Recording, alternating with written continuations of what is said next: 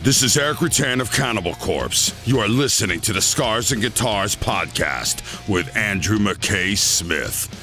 G'day, everybody. It is with great pleasure that I introduce that this chat features Phil Soussan, one of the greatest working bass players in rock and roll history.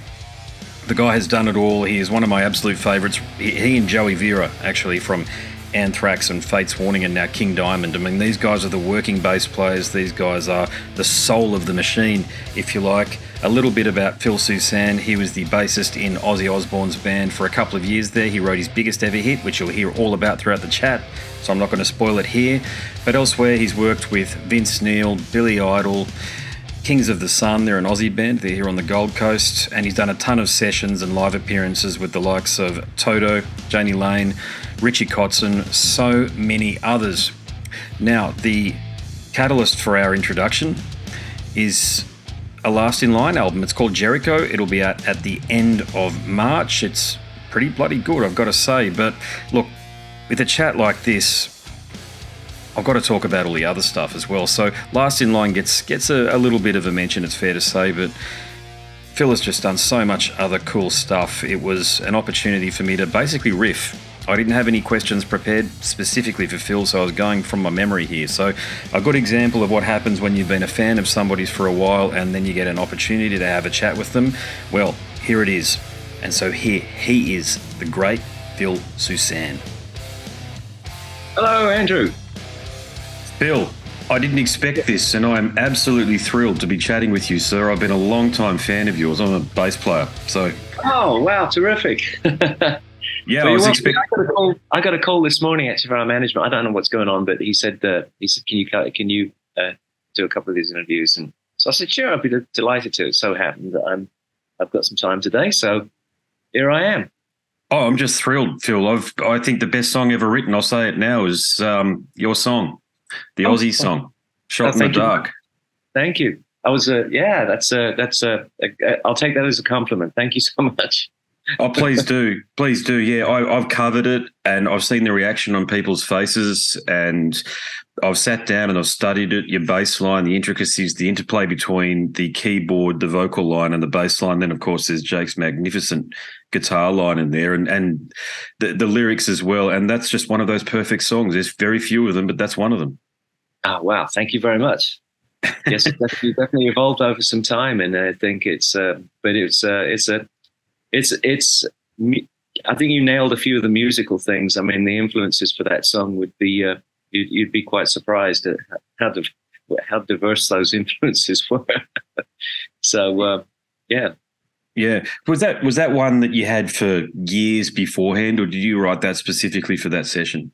No, I had that a long time. I had it for a long time. I originally wrote it a long time before, um, and then uh, we covered it in one of my one of the bands I was in, but they wanted to change uh, all the lyrics and make some other changes to it, and never released it. And then it sat in my drawer, and then eventually, um, when Ozzy was looking for another song, uh, came around to asking us if we had songs. I played him three songs, and that was one of them. But um, yeah, it was my with the it was the original version I played him, and that's that's the one that became the one that everyone knows. So yeah, magnificent. St- stood the test of time, big time. I just, I wish Camp Osbourne would pull their finger out and remaster that album and give you guys the collective on that album, including Bob. I know Bob was a part of the album as well with the songwriting.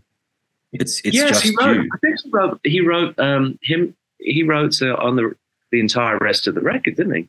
Mm. Yeah, yeah, very. I, I mean, as you well know, it's a very odd scenario there with Camp Osbourne through the '80s and majority of the '90s. It's as as yeah. you bloody well know, mate, it's do this or else, and then maybe you'll get paid. And, yeah, uh, I mean, I, I, sort of kind of uh, knew it, you know, going into it. Um, I, I, I had a great time with with Ozzy during the uh, Ultimate Sin uh, period, and we did some incredible stuff. Um, a, a, real highlight, of course. And then when it got to the end, you know, I really wasn't able to, uh, you know, I had the option to move on and, and carry on with another record and actually do a lot more writing if I hmm. could cut a deal I, I was happy with, and I really wasn't a, finding myself able to cut the deal that I would be happy with. So I elected to kind of, um, you know, uh, move on and switch gears and go go play with Billy Idol. Um, but yeah. um, for other people, um, you know, they. I, so I'm I'm not that disgruntled about anything. Is what I'm saying to you. Okay, I think cool. it worked Yeah. out just fine. But I know other people. Um, not everybody has the same story to tell. Um, uh, but you know, I, I sort of, I sort of, I sort of knew it as I was going into it. I, I found that I was I was trying to cut this deal, and I was I, I was saying I'm not going. to I don't think I'm going to be able to cut this deal, and um, and so maybe it's just time for me to sidestep here and to do something different. Because So- your career, your career's had a lot of highlights, though. Is that the highlight from a commercial perspective? Do you think, like in turn, because it's a number one song? It's like your song was number one on Billboard. Yeah. So people, yeah, I, I, I without any doubt, of course, that's a highlight. Um, there are other things which to me were a highlight as well, in for different reasons. There was some songs that I wrote where where I thought they were really superlative songs, which that was a highlight for me. Uh, having a song that I wrote getting nominated for a Grammy was another highlight, which was for someone else. Um, so and and then of course the highlights of some of my moments on the solo albums that I put out have also been highlights, as is some of the work I'm doing with Last in Line. So for Hmm. different reasons, uh, it's all been good. It's all been good. You know, you can't, but but I can't. You know, I won't turn around and uh, um, you know, it's like that. Um, it's like that thing when you get some star that has a big hit and everyone goes Hmm. to see him. They said, "Well, why didn't you play the hit?" And goes, "Oh, I'm fed up with hearing that song." Yeah. You have to pay tribute to the song that got you there. So, you know, so you do have to. You also have to acknowledge and you know acknowledge that for what it is. And it was a, it was a, it was a tremendous highlight. The, the song is a highlight in the broader Dio Black Sabbath universe. So, in what you're doing here with paying tribute, in a, in a roundabout way, I know the band has sort of since evolved from a so called legacy act. It's far more than that, by the way. I'm talking about Last in Line. But do you think you'd ever bring that song into a set list? What shot in the dark into? to- Yeah, to- in Last in Line, yeah. I don't think it would be in this band. I don't think that would be um, appropriate. Um, I think that you know that, that we've wrestled with a little bit of a thing um, where people have not been sure whether Last in Line is a tribute band or a heritage band or Hmm. what it is. I mean, I, I know it certainly started out uh, with a nod to uh, to the original Dio band. I know they got together for, for old time's sake to have a play and see how it how it came out, and they did some shows. Uh, and that was the origins of the band. But the band is now um, has proven itself to have um, some legs, has has kind of moved on to uh, to show that it has some evolution and some creativity, and it's also had some some um, reception, um, and uh, and it's built a lot of traction. So I don't know that that would be something that we would probably do. Um, and I mean, if they turned around to me and said, "Hey, we want to do the song," I wouldn't say no. But I don't know that that's something I would bring up and say, "Hey, I Hmm. think we should do this song." But I do appreciate and respect why you're saying that. Yeah, it's it's just one of those tracks. I'm surprised it hasn't been covered by Selena Gomez or someone like that because it's got pop sensibility about it, but it's just straight ahead rock and roll. And if you listen to, I've got young daughters, you see, so know Yeah. all about these Selena Gomez's and Yeah. Taylor Swift's and stuff. So Selena Gomez, that was the thought that came to me the other night because I think about these sort of things. I go, wow, her management should contact you and just just say, hey, how can can we cover this song and and see what goes from there because it, it could live another life again. You know that one. Well, Fun's right here, and they don't need to call me. Just go ahead and cover it.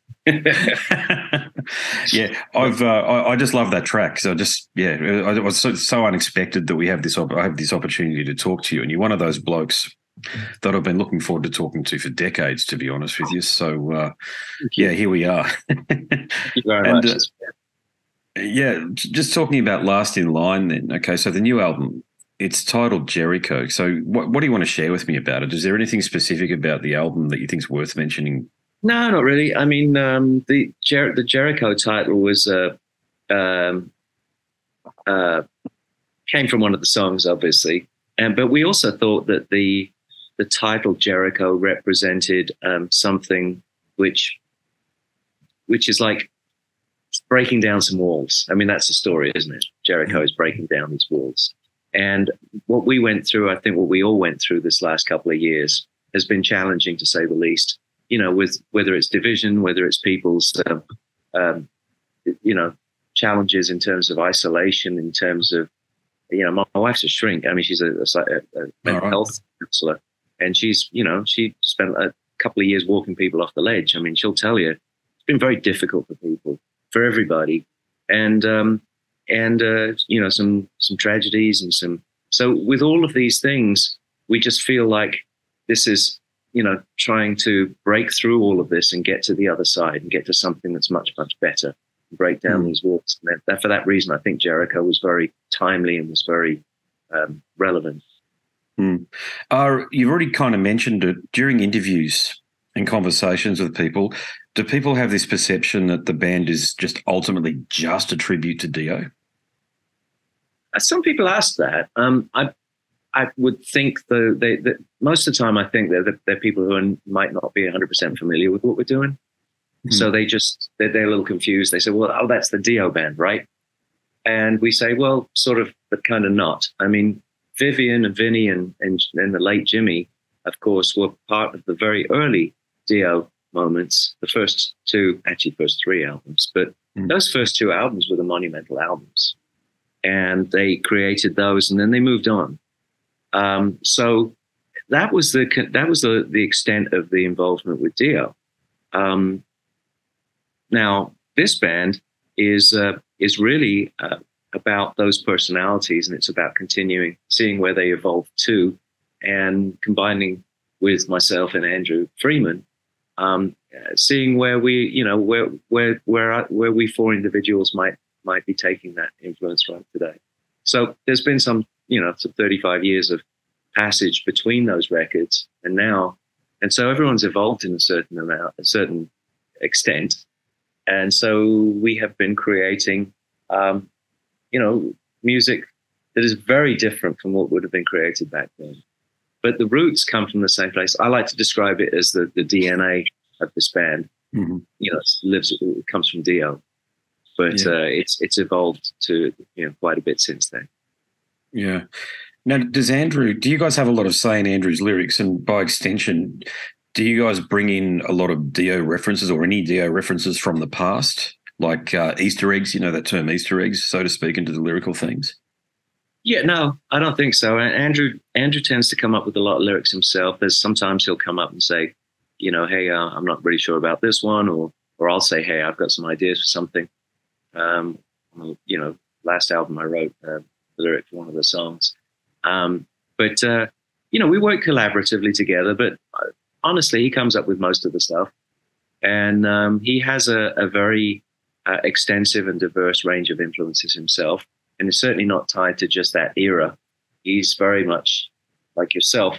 You know, he's got he's hearing stuff from from from all over, from every single direction, stuff that you know I might not want to listen to or I might not listen to, and he's he finds he appreciates that and he he brings those influences in. So before we go back to um, trying to, you know, pull out some influences from the past Dio catalog, there's all of this wealth of modern information which is around modern hmm. influences. Mm. So, yeah. yeah, fair enough. Yeah. Now I, I read the presser, and I think Vivian was saying that the band jams on the tracks live 1st mm-hmm. before going into the studio. So can being a musician, I know sometimes I just had a rehearsal last night and it was like banging my bloody head against a brick wall. To be honest with you, with my poor old guitarist. So, do you, how do you how do you iron out differences of opinion in the rehearsal room? We don't. We don't have differences of opinion. What we do is we try everything. It's pretty mm. obvious what's what's going to happen. I mean, it's odd. We don't really get that. There's no sort of passionate, you know, brawls or arguments about anything. It's um, Viv's one of the most um, as a guitar player, because you mentioned guitar players, Vivian is one of the most uh, uh, open to trying anything people I've ever met. They say, oh, hey, how about we do this? And we go to that, and he'll go, all right, let's try it. And then we'll try it in, in earnest. And uh, it's pretty evident whether something works or if it doesn't work. And everyone will turn around and go, yeah, that sounds great, or no, that doesn't sound so great. Let's, let's try something different. Uh, so it's a very it's a very cooperative collaboration, and it's certainly a very friendly one. I've never it's I've never been in a band that's been that quite that kind of accepting of everything, you know, to try everything out. And we do everything on the fly. I mean, we really do. We go in there with nothing. We we we go in there with the one of these, one of these, and you plug it in, and that's all you got. And then we just start playing, and we mm. see what we come up with. You know, so many bands um, I'm sure you can appreciate this as a musician. Come in with a bunch of demos. Say, okay, well, here's my demos. You know, And everyone sits down and has a solo project listening party and decide what how, what songs we're going to work on and try to mm. adapt. In this one, that's actually discouraged. We don't bring in anything. In fact, at one time I suggested, hey, I've got some ideas, and people's like, no, no, no, no. Let's just go in and we'll plug in and see what happens. That's where the magic happens. So that's what mm. we do. It's very granular. It's Organic. interesting. just on, on that point about uh, being organic and working with musicians and all that sort of thing, I've got one of the questions I was going to ask Andrew was tell me about working with Phil Soussan. So there you go. So, well, I'll tell you what it's like. It's a pain in the ass. He's, he's a real jerk, you know. Yeah. Is, um, it, is, it still is it still exciting? I get the impression I, I can, I'm getting the vibe that playing music and doing what you're doing here is still very exciting for you. It is absolutely. It's the only thing. It's the only thing I want to do, and it's the only thing I always wanted to do. And as frustrating as it gets sometimes, uh, it's the only thing in which I find some solace. So um, it's you know, for me, it's everything I love. I mean, I, I it, my dad said to me, you know, if you uh, if you can find something you love doing that, that you you would do even if you didn't get paid for it, that you know, that's what you do. You never work a day in your life. And when I finally went to him and I said to him, I've decided I'm going to play music, he said to me, anything but that. My parents said something similar. Yeah, I remember. But, are you, uh, you, know, are you joking? I think they said, but yeah, but it's worked. It's clearly worked out really well for you, though. So, Dad must be your father must be really proud of where you've ended up. He, he would have been. He's not with us anymore, unfortunately. But um, I think so. But it was difficult for him to stomach. I was actually at pre med before that, so that wasn't a really great thing. Oh right. News, but, so um, but you know, I will tell you. I mean, I never, I never set out with the idea that I'm going to be successful. I didn't even know what that meant. Um, what I did, did, did know is is I, would set myself some attainable goals, and and I like to try to encourage people I speak with, and when they ask me how can I how can I be a success, how can I get traction in this business, how can I do something in this business, and my answer is very simple. It's it's to set yourself some reasonably attainable goals some things that you have a you know a, a, a chance to actually accomplish. Because if you do then you can set a, a, new goal very very quickly so my goal for example at the time was look if i can pay my bills doing what i do i think i will consider that to be a success and from that mm. point onwards i started to sort of try to build upon that and uh, the rest of it started to you know sort of takes care of itself in the meantime i still was very much in love with, I was, with what I was doing and I wasn't frustrated. If I wasn't able to do anything, then I'd start getting frustrated with what I was doing and I'd start scratching my head and saying, well, maybe I should be doing something different. You know, maybe this isn't going to work for me. All of those arguments that come in that end up in somebody, you know, falling to the wayside or, or, or abandoning what it is that they do. Um, so you have to set attainable goals, I think, reasonable, mm. goals. It's, you can't go into this saying, I want to win, win the World Series. Yeah. Like if you're a ball player, you know, you, you have to come in and say, well, I, I want to, I want to, you know, I want to hit a ball as best as I possibly can. And if I can do that, then maybe over a long period of time, the World Series will take care of itself. right? Very true. Yeah, very true. Hey, I'll just do a time check. Have you got another one coming through in a couple in a minute or two's time? No, no, I got time to talk. I actually, I think that's you're you're you're, you're my last one for today. So okay, great. Time. That's yeah, it's timed really well. And yeah, I'll just I'll ask a couple more questions as I say because sure. I've been looking forward to this opportunity for so long. Absolutely. You worked with. Um, I checked Wikipedia before. It says that you worked with uh, Clifford Hoad. What's his band name? Sorry, I can't remember. Oh yeah, band. Kings of the yeah. Sun. Kings of the Sun. There you go. Did you come to Australia for those sessions, or was that done abroad? No, no, no, no. I did that over here. I got put in touch with them through uh, a couple of friends, and I, they asked me to. They needed somebody to play on a record, and uh, they were doing uh, uh, an album called Resurrection, mm. and we ended up doing it. Robbie Jacobs engineered it, and Danny Kortchmar produced it. We ended up doing it at A and M Studios here, and I got to tell you, I had like probably the best time of my life playing with those two guys. I love Jeff and I love Cliff. They were absolutely stellar people. We had such a great time. At the end, they wanted me to join the band, but I would have had to come to move to Australia pretty much mm. and they weren't 100% sure about what they wanted to do. But uh, that album remains on one of my uh, my own playlists to this present day. I love the record. Oh, fantastic! great yeah. people.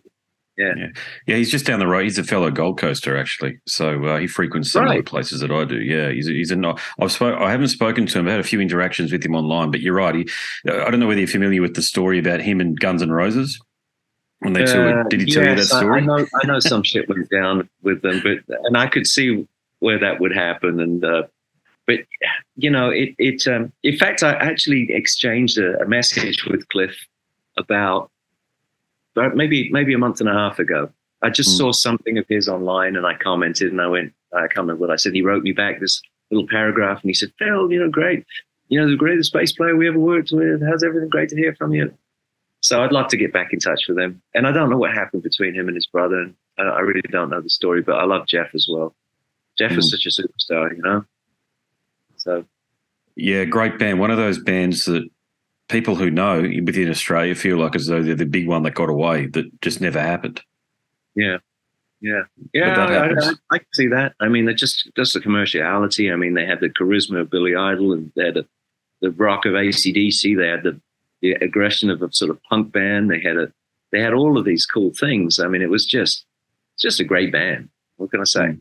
Yeah, no, definitely agreed. Yeah, and the long departed. Uh, I always get his pronounce his first name incorrectly. I say Jani, but it's Janie Lane, I think, isn't it? But you did some work with him, Jane, Janie Lane? Janie Lane. Yeah, there you go. That's it. Yeah, Yeah, I played with I played with Janie in the la- latter part of his years when he was basically working as a solo artist. I suppose he was going out as Janie Lane. Um, with uh, we had some great people in the band: Mike Fasano, Keri Kelli. Um, uh, else? Oh, and he he actually ended up finding Dario Lorina. Believe it or not, Hmm. that was the. Uh, Janie was the guy who, who discovered him. Is now with Black Label Society. there you go. Yeah, And, uh, and Sean Zavadny, of course. Sean Z, his keyboard player. So keep, I, I neglected to mention him. Sean was a very close, close part, close, close person, probably the closest person with Janie. So that was a that was a it was a real honor. Janie was a terrific songwriter and a really, really, really lovely guy. I know he had his demons and everything, but what a sweetheart of a guy he was, you know. And you'd want to do every, anything you possibly could for him. So yeah. Very So- misunderstood. I know. I know. I know. He wanted to disown Cherry Pie, but uh, that was the big hit, wasn't it? But he uh, he he long wanted to the the public to take to his more acoustic. I think it was more of his soulful, the soul songs that he was releasing. Releasing. Yeah, you know, it's really difficult. I, I, I'd hate for to be. I mean, to when that cherry pie came out, I mean, that almost co- coincided with the end of the '80s for me. Mhm. You know, and it wasn't because of the song; it just was, you know, it was just uh, when that happened on the chronologically what- that moment, and so maybe there's an association with that as being the end of the the whole '80s thing, or I don't know what it was, but yeah, his other songs. I mean, I love like Uncle, Uncle Tom's Cabin is an incredible song. Mm. I love that, and I thought it was brilliant. Uh, I asked him how he wrote it one time, and he said he was. You remember the TV guide that they had in America because they had so many too many TV stations. So They had a, in their hotel they had TV guide, and he was rummaging down there, and he said there was two titles of two films or two shows, and one was I Know a Secret, and the other one was Uncle Tom's Cabin right after it. And he went, Wow, those two things go together. And that's where the inspiration came from. And so that was a kind of cool story, right? That's a killer story. Yeah the, Yeah. the bit of insight that you get into these killer songs that we've been listening to for now decades, as I say. right. yeah, absolutely. What about what happened with Billy Idol? Because that was a big album, wasn't it? The one Yeah. that you worked on with him. So with Charmed Life, was there talk of working with him afterwards, or was it just the night? I mean, the nineties wasn't kind, was it? Let's face it. So was it just the nineties effect? We we we got off, we, we we started off on the right foot. Everything started out started out very very good and and really a, a great situation. He'd moved from New York and he was now living in Los Angeles to make a fresh start, so to speak. And everything started out great. But to be honest, all of a sudden we started getting surrounded with some some people who had no business in surrounding anybody in music. Hangers on, bad characters, Yeah. people who had nothing to do with the band. And all of a sudden, a lot of really strange influences and and uh, a strange drama that was going on, and it just turned into something where I just looked at this and said, you know, this isn't really what I signed up for. I've got a career to be getting along with, and, and I didn't appreciate some of the stuff that was going on. Um, and uh, you know, sometimes you just have to cut your losses, you know. So I was sad about that. I had a great time with Billy. I I personally really got on well with him. He was a close friend. Um, and uh, every, it's always a delight to see him. Every time I do see him, he was always really super friendly. Mm. And I'm glad everything's all sort of worked its way out, where it worked its way, worked itself out. But um, at that time, it was probably not something that was working out. Yeah, gotcha. And and Steve Stevens, I don't think was on that album. I mean, the credits are often ambiguous, and there's a lot of ambiguity around the credits. Was it Rob Younger Smith or was it Steve Stevens on this one? Steve no, it was Mark Younger Smith. Okay, Rob Young, Mark Younger Smith. Gotcha. Yeah, yeah, Mark, yeah. yes, because in fact that was part of it. You know, when he moved out to LA, he wanted to put a whole new band together. Uh, he, uh, you know, he wanted to. Um, uh, well, he wanted to put a band together with myself and Randy Castillo, actually. And Randy was oh, wow. originally in the first part of that band. We we cut the very first version of LA Woman together with Billy, and uh, it was a fantastic cut. I don't know what what happened of it. It's disappeared. No one can find it. Um, and then for whatever reason, um, Randy did not end up in the band. I don't think that Billy's producer um, really got on very well with Randy, and so um, you know that that didn't uh, carry on. Uh, but um, but Mark Younger Smith was the guitar player throughout the whole record. Mm. Yeah, yeah. You and Randy Castillo was certainly a partnership. It was. Uh, I was very. I was great. I think I did see him. I've got to check this. But when Ozzy came out in 1998, his first ever, unbelievably, tried to come to Australia before the visa issues, or probably they. I don't think they were going to let him in, to be honest with you, beforehand because of all of the the reputation that he had around that stuff. It was when Australia border security was still very conservative about things. But you mean, you mean Ozzy? Aussie, yeah, yeah. I was just yeah, saying. We had, a plan, we had a plan to come there, and uh, you know, I'm going to move because I want to get onto. I got to put this thing on a charger. Hold on a second. You're right. No worries. Yeah, we we we had a plan to come there in 1986, I believe it was, and um, uh, Ozzy got vocal notes. Um, right. He couldn't sing in fact, not only could he not sing, um, his doctor told me he couldn't talk for like a month. So that it was for a guy that talks a lot. He was he was definitely frustrated with that. And in the meantime, we ended up um, we went to Hawaii. We were coming back from Japan. We ended up staying in Hawaii for um, we weren't supposed to be there, but we ended up staying there for I think about ten days. And then we came back to LA and we we got a house in LA and we stayed in LA until Ozzy was better again. And during that time, we were supposed to come to Australia and they got cancelled. So I think that might have had something to do with it. And hmm. then um, after that, well, ironically, there's a side story, of course, is that um, we were in the middle of our tour with Metallica opening for us, and they decided mm. they didn't want to sit around for a month. So they went to do some shows in Scandinavia, and sadly, that those, those were the shows during which Cliff had passed away. They yeah. had the accident. So it's it's it's remarkable. It's a sad thing, but it's a remarkable thing how one completely unrelated event can have disastrous, you know, consequences on the back end. I mean, if he hadn't lost his voice, you know, you know, then things might be very different to that, you know. Yeah, agreed. Yeah. Look, and, and another thing, just talking about Metallica, the, the legend looms large, as you well know, about Cliff Burton and Metallica in that era. And from their reputation's perspective, that tour was the defining moment in their career. Yeah. Although, yeah. even though it, it, had this huge tragedy surrounding it, were from your perspective though, do they uh, is their reputation well earned? Were they the juggernaut that you were witness side, side of stage every night back in those days? Yeah, I mean, you know, I was familiar with them being being a Brit because they broke in Britain a long mm. time before they broke in America, and so yeah. they were frequently in England. And uh, I, at the time, I'll be honest with you, I was like, wow, this is kind of very out of left field. It's very extreme compared to the sort of stuff that we were, you know, that was mainstream. But it was cool.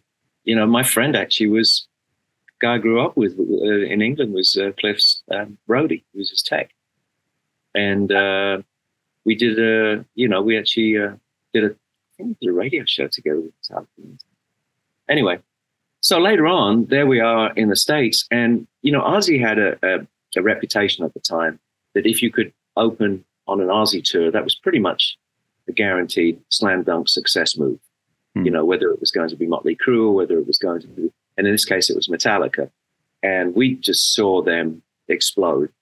But that we did have definitely have different audiences. If you went out there during the Metallica show, and you'd see all these, you know, denim jackets in the front few rows, and then all of a sudden they finish stop, they finish stop playing, and the whole crew goes out on the stage and they start changing all of the gear around, and mm. correspondingly in the audience, the entire first three rows would change it's a completely different looking people, and it was like wow. girls. It was, it was, you know, so they definitely. Um, um, I, I mean, it was it was undeniable what was going on.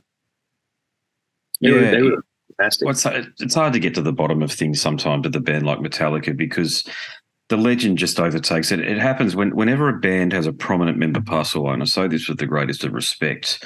Forget about critical summary or analysis of their music or their situation. Okay, they just become gods and legends. And Metallica, in my opinion, haven't really done anything of note really since that era.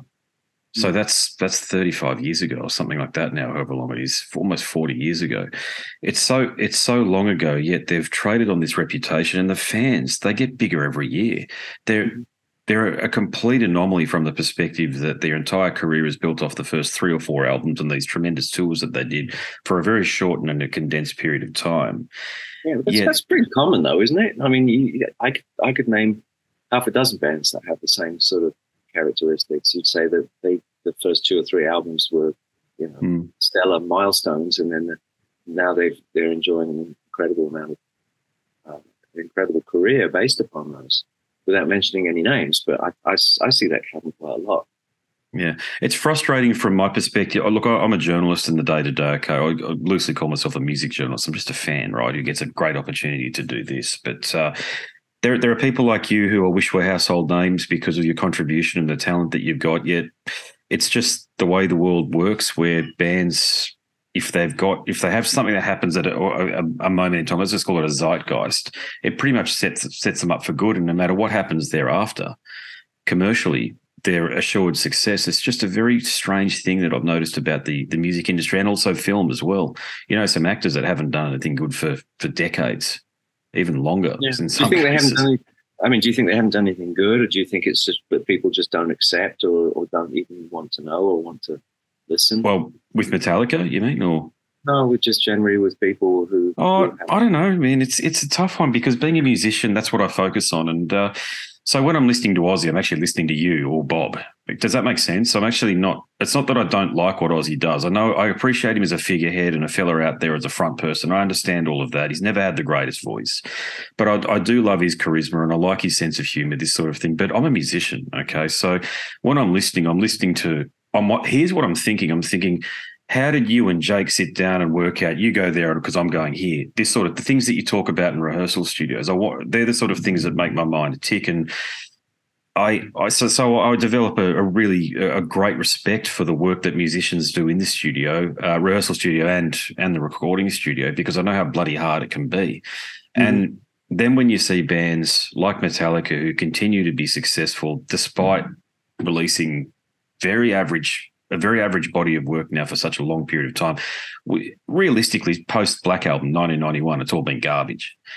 Yet the fans, no matter who they are, I've even done some critical stuff about Metallica, and yeah, you get hate mail. It's it's such a strange thing with some bands. Same thing happens, I think, with Black Sabbath, Judas Priest. You know, there's really prominent bands, but then you go to the next level, and people think like Jani Lane. Uh, I can tell you, but people shit on Jani, and it's it's terrible. It's you, they have no awareness or understanding of the the true talent that these people have because they haven't dived into the catalog and actually taken some time out to absorb the music. Does that make sense? Yeah, it does. I mean, people you know people get very personal with their music as well. If you say the wrong thing, people uh, feel like you've uh, you've you know you've somehow insulted them personally or and or and if you happen to support something and someone disagrees with you, sometimes they can get quite passionate with you hmm. as well. And, uh, you know, very often we get on the receiving end of that stuff. I have to, I can't pay any attention to that kind of stuff, but for obvious reasons, it's, you know, that's, you know, it, I always remember that one line in the David Bowie, The Man Who Fell to Earth. Remember the movie? Yeah. Yeah. And, uh, at the, the end of the, at the end of the movie, I think, uh, Rip, Rip Torn's character says to the Bowie, you know, I, I heard your record. he said, "Oh yeah," he said, "I didn't like it very much." She went, "Yeah, I didn't write it for you." You know, it's it's pretty simple. You know, you you're entitled to your opinion, but you can't, you know, play off of these things. You can't let that sway you. You know, the best thing that the most inspirational thing to me is coming up with something that inspires me. I know it sounds like a a, a, a oxymoron or something, but um, you know, like you're talking about rehearsal rooms. What makes Jake come up with something and me come up with another thing? How do we work that out? I don't know, but sometimes you're in a room and I'm playing something and the guitar player is playing something, and you you sit there and you go, "Oh my gosh, that sounds great." I don't need to tell you what to play. He doesn't need to tell me what to play, but there's a moment there, and that really is a sort of affirmation uh, or uh, uh, confirmation that, that you've got a good idea, that you've got something that's working. Mm. That's what it is. It's yeah. as simple as that. So, you know, it's the same as me picking up a guitar and playing through hours and hours of playing. And I go, oh, yeah, that sounds good. I, I could work on this, walk chord.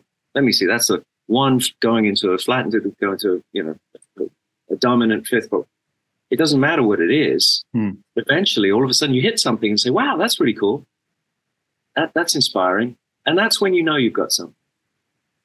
I yeah. mean, that's that's how it works for me.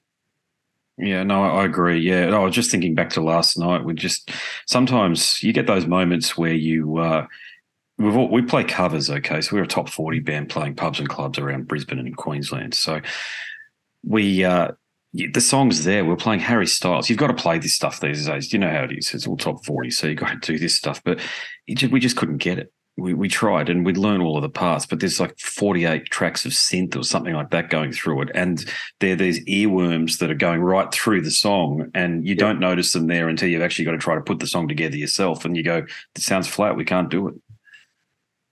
Yeah.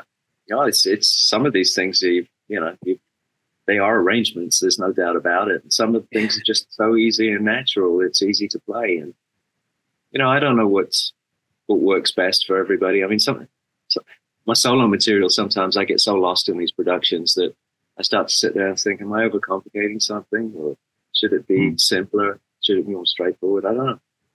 It's music is very, definitely very diverse and it's people get very passionate about it. Um, uh, and uh, and it's understandable. You know, I certainly did with my own, my own influences when I was growing up, and uh, things I'm I'm very passionate about. Uh, but I do respect that everyone has a different sort of thing. And I think that's very, very important. Yeah, no, great. Yeah. I've just got to know on the. I've just got to know on the time because I've got to jet off to work soon. Unfortunately, yeah. we uh, believe me, I've got a ton more questions. I'll, I would love to ask, but I'll ask this one here. Um, yeah. You, you've had an extraordinary career, certainly as far as I'm concerned, and there are so many highlights. You know, as I say, you've got the Billboard number one. You played in Ozzy's band. You've got uh, Billy Idol. You've done a, so many sessions. You've played on more recordings than people would care to name. In terms of, uh, you're one of those basses that I think all rock fans will have heard, even if they didn't intend to, because of the amount of sessions and stuff that you've done. So, can you pick a career highlight? Every single there are, there are many career highlights. I mean, I think you nailed something, which is a lot of my influences were very diverse.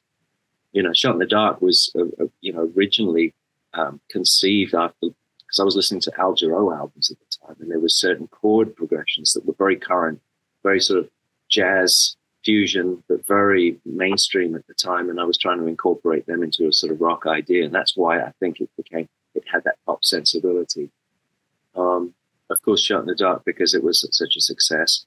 Um, a, a, song I wrote after you're gone for, for, for Toto that was nominated for a Grammy. That was a mm. highlight.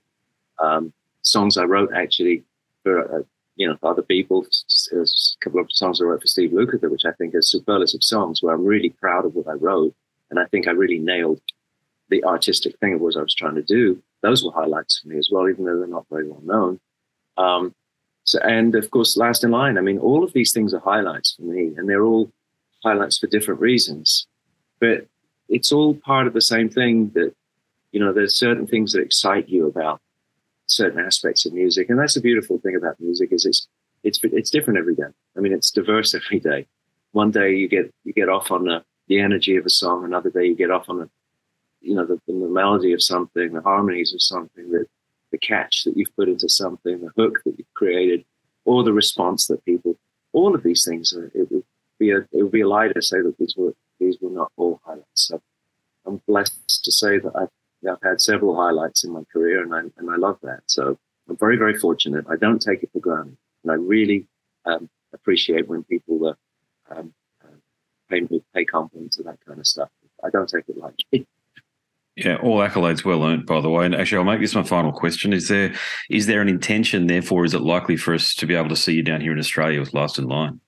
I hope so. It's way, way, way been. Well, we need to come over there. So we we did, we've been discussing it just prior to the pandemic. We were starting to get discussions about traveling further out. Australia was being mentioned, uh, as well as South America and back to the Far East again. But Australia was definitely being mentioned, and unfortunately we had a pandemic, and sadly, we lost a, a manager slash agent as well, mm. who uh, passed away for unrelated reasons. But um, all of that kind of took a backseat, so we have to start from scratch again. But we'd love to come over there. I hope we can do so really soon.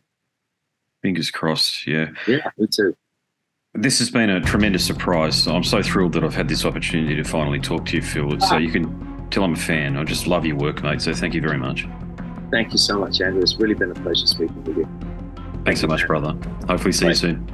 Absolutely. Take care, okay? Thanks so much for joining me. I really appreciate it. That was a killer conversation with one of my favourite musicians ever, the great Phil Soussan. Now, I can't say that there are heaps more over at Scars and Guitars like that one there, the website that is, because there isn't. That was just a once off. I have a real thing for certain musicians like Lee Harrison from Monstrosity and Terrorizer and Phil, Ozzy's bassist, a couple of others. Doug Wimbish from Living Colour, mainly bass players, I've got to say, because I'm a bassist myself. But when you get a chance to have a, a long form conversation and dive into so many aspects of their incredible career, you take it. And as I said in the introduction, I was riffing then. I didn't have any questions prepared. It was just what I knew off the top of my head. Let's go. So, yeah, do check out the other chats on scarsandguitars.com. And if you like listening, maybe you like reading, because I've written a book and I've got some more information to share with you about it before we go across and have a listen to why you should download a sample of the book. I need to bid you a fond farewell. My name's Andrew Mackay Smith and I'm the host of the Scars and Guitars podcast. Until next time, it's a very goodbye for now. This is Erik Rutan of Cannibal Corpse. You are listening to the Scars and Guitars podcast with Andrew McKay Smith. I've been the host of the Scars and Guitars podcast since 2017. The first musician I interviewed for the show was David Vincent from Morbid Angel, and things have just snowballed from there. In all, I've posted almost 650 podcast episodes featuring conversations with many of the leading lights of rock, heavy metal, and beyond. It just got to a point where I thought, I need to write a book about all this, so that's exactly what I did. In Scars and Guitars Volume 1, you'll read a heap of deep reveals and commentary, such as Dez Fafara talking about Coal Chamber and why the band will never return. You know, if you're a, a band just starting out, you need to hear me. Do not start a band with partners ever. Yeah, wise words there. Sage advice, mate, for anybody. Don't ever, because I, I can't go do Coal Chamber right now unless I get others involved. Phil Anselmo talks about the episode in his career which gives him the greatest sense of accomplishment. I think the staying power of the, the fans and the staying power of the I, of the songs, you know, whether it's Pantera, Down, or Superjoint, the fans remember the songs. Alex Skolnick from Testament confirms that yes, playing the guitar in Ozzy's band is anything but an ordinary gig. Will Silenoz from Dimmu Borgir write a book? Pa from Sabaton gives advice to people who want to start a band. Look at the team around you. Look at the bandmates. If uh, if the guys want to be on the stage, then it's all cool. If the guys want to be backstage, then it's not gonna be cool. Current and former members of Cradle of Filth discuss the band's seminal 90s material. Read about the reaction to George Lynch and Mark from Suicide Silence's comments when they throw shade at then President Donald Trump. We have this idiotic monster, you know, this egotistical, self aggrandizing, complete piece of shit in there. I, I, just, I just can't understand how we've gotten to this place. And yeah, we kicked a hornet's nest with Sepultura. Percussive overlord Gene Hoglan talks about recording with Chuck Schuldiner. Chuck was always, um, you know, he was he was very you know very open minded and and he was into having his his musicians that were playing with him just reach out for for the best stuff that they had. Phil Campbell from Motorhead discusses what it takes to get sober. John Five answers his critics who dismiss his tenure with Marilyn Manson. You know, my name is John Five, and Manson gave me that name, and um, I had some of the best years of my life in that band and, and learned a lot. And we get the lowdown on Trey Azagthoth from those who would know, including his mother. All across Scars and Guitars Volume 1, there are moments of tension, relief, tragedy, exhilaration, and throughout it all, you'll obtain insight that I believe no one else has managed to obtain from many of your favourite artists. So treat yourself. Scars and Guitars Volume 1 is currently available as an ebook with a print edition on the horizon. Follow the links attached and download a sample. I'm sure you'll be compelled to read the whole book.